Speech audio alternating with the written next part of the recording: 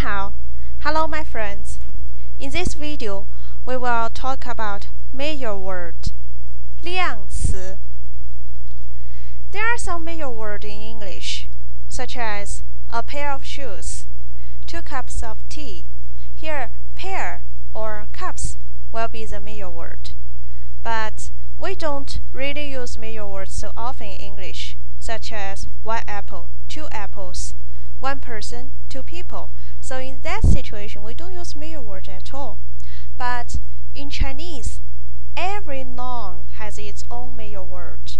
A measure word is required whenever a noun is quantified by a number.